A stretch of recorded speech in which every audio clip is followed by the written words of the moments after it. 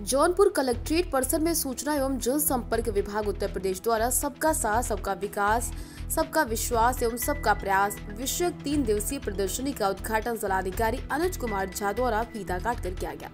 इस मौके पर जिलाधिकारी ने बताया, जनपद स्तरीय तीन दिवसीय प्रदर्शनी का आयोजन किया जा रहा, जिसमें केंद्र प्रदेश सरकार की जन कल्याणकारी योजनाओं के बारे में प्रदर्शनी है। उन्होंने अपील की कि ज़्यादा से ज़्यादा लोग आए विभिन्न विभागों द्वारा चलाई जा रही योजनाओं के बारे में जानकारी प्राप्त कर लाभ प्राप्त करें।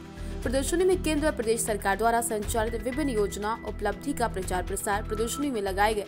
जन कल्याणकारी योजना, प्रधानमंत्री कौशल विकास योजना, प्रधानमंत्री मुद्रा योजना, स्टार्टअप मिशन रोज़गार के अंतर्गत प्रधानमंत्री रोज़गार सृजन कार्यक्रम, मुख्यमंत्री युवा रोज़गार योजना एक जनपद, एक उत्थान मुख्यमंत्री आवास योजना, प्रधानमंत्री मातृ वंदना योजना, विश्वकर्मा श्रम योजना के पोस्टर के ज़रिए किया गया। तीन दिवसीय प्रदर्शनी के माध्यम से खुशहाल किसान उत्तर प्रदेश की पहचान, किसानों के साथ खड़ी है सरकार, गौवंश की सुरक्षा, मुख्यमंत्री अभ्युदय योजना के द्वारा।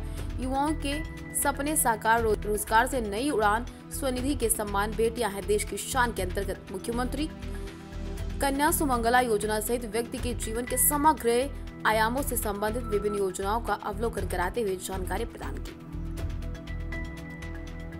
कलेक्ट्रेट और विकास वन परिसर के आसपास है तो जितने भी हमारे चाहे तो लाभार्थी यहाँ आते हैं या अन्य जो लोग जो अपनी शिकायतें लेकर के आते हैं, उन सबके लिए एक अवसर है कि वो यहाँ पे प्रदर्शनों का अवलोकन करके और जो इसमें जितने भी गरीब कल्याण को समर्पित जितनी भी योजनाएँ हैं उनका लाभ उठाएँ, उनके बारे में जानकारी लें। इस उद्देश्य ये प्रदर्शनी का आयोजन यहाँ पर किया गया तीन दिन तक प्रदर्शनी रहेगी। और इसमें ये कोशिश कर रहे हैं कि जो हमारे स्कूलों के जो बच्चे हैं, वो भी देख करके, वो भी योजनाओं के बारे में जानकारी लें। कुछ उनके भी उपयोग की चीज़ जो है लगाने का यहाँ पर दे दिया ताकि उनके लिए जानकारी ठीक।